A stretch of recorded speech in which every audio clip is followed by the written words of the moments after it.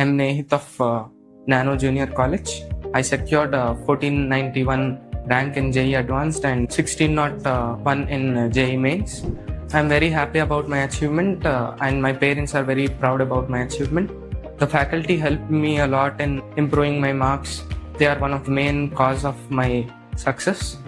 Uh, the classroom program conducted by the college helped me a lot in securing such a rank in uh, JEE Advanced exam. Uh, the college and the faculty helped me a lot in clarifying my doubts, helping me in every every stage of my journey throughout the two years of my college.